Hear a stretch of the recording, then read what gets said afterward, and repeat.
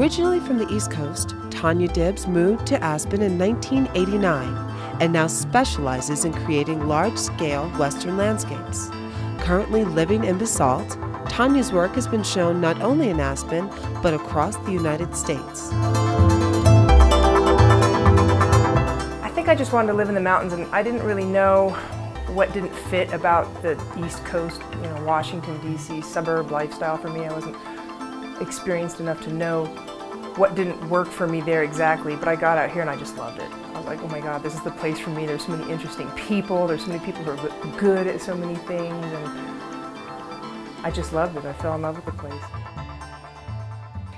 When I first got here, I did everything. I, I taught skiing right from the start. I cocktail waitress.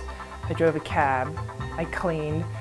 I catered. The things that stuck were um, construction, which is strange for a girl to do, but I wanted to be outside and I liked working with my hands. And that really helped me a lot in my art career because Aspen is a place that's expensive and it's hard to find places to live and places to work. So in the early years, I could always fix a place up and use it for studio and most of my early studios and homes didn't have plumbing or you know kind of shacks that I fixed up.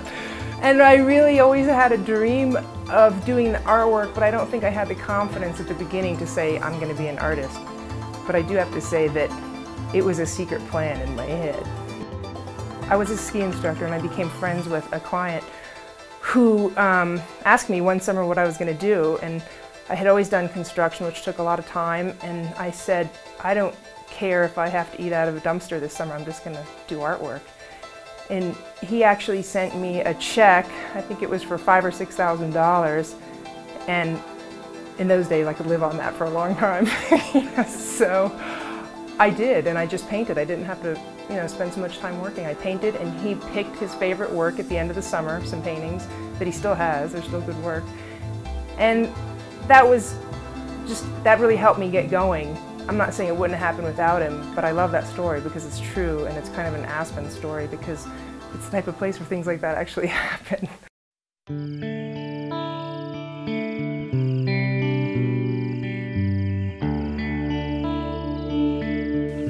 I think when I moved out here, it definitely changed the way I paint. I think the big sky out here and just the sense of space of the West really did affect the way that I paint and the scenes that I chose. And um, I sort of, I think, became known for doing these big skies where the viewers are very tiny. I think that actually makes some people uncomfortable looking at them. Actually, some people don't like that at all when I have a very low horizon. I mean, not like this piece, but some, you know, a lot of the pieces that I have done in the past and still do sometimes are just mostly space, you know, and that is just it's a characteristic of the West that I like. Another thing that changed was just the way uh, you're higher up in the sky and that makes the clouds look different. Back east, you know, you have the clouds, you know, the big puffy clouds and then, you know, whatever the long, thinner ones are and then a bunch of atmosphere and then your horizon. And out here, I remember when I first came out just thinking, oh my gosh, if it's really dark out, you know where the mountains start just because the stars stop, but you know, it's right there into the sky. You're directly up into upper atmosphere and it, it, it does look different. Interesting thing that I found is that usually the colors in the ground are in the sky and vice versa, even colors you wouldn't think. You know, like if you just mix up blues and paint a blue sky, it's going to look like a beginner painting. The sky has yellow in it, and whatever colors you use in the sky are usually in the ground too.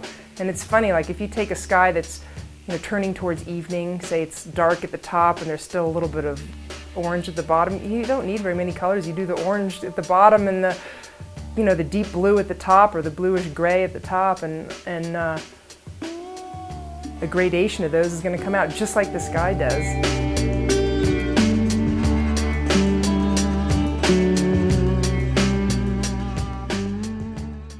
One thing that I've been doing the last few years is using a lot of Photoshop which I love because instead of spending all this time in your studio going back and forth, I love to take a picture. I mean, sometimes I'll have a picture, a snapshot of, you know, a couple people walking, but it's the lower left corner, the sage bushes there that are really compelling to me. So I'll cut that, crop that in Photoshop, stretch it, blow it up, change the colors, you know, and, and it kind of is a nice tool for, for just getting a different vision of something.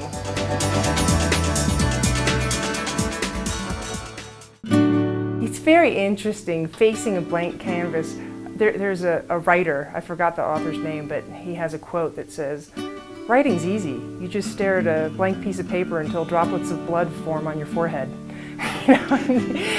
I love that because you know you can apply that to painting too. Usually I'll get an inspiration for an idea, and an inspiration is, is amorphous. It's not really concrete. You know, it, it's it's going to be exciting. It's going to be loose. It's going to be hipper than my last painting. You know what hip is.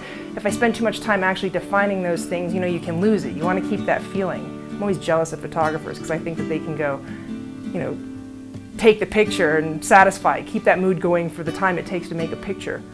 But when I come up to a blank canvas, okay, you've got that big idea, and then every stroke you make of your paintbrush, it turns into something more concrete that might or might not be, you know, uh, your idea or what you thought your idea was. 90% of a painting is faith that you can pull together at the end.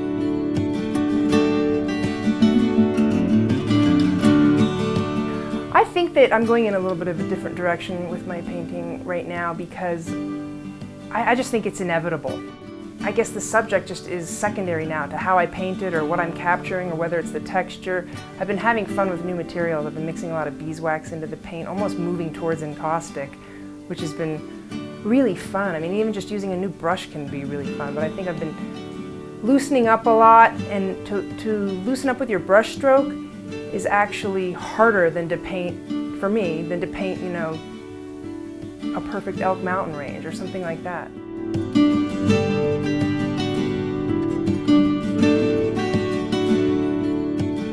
I actually think this is a great place to be an artist. New York is here, you know, an international clientele is here. There are people from all over the country here. In some ways, I am so glad that I didn't listen to everybody's advice. You know, you have to have an MFA, you know, you have to be in New York, you have to this, you have to that, and you don't have to.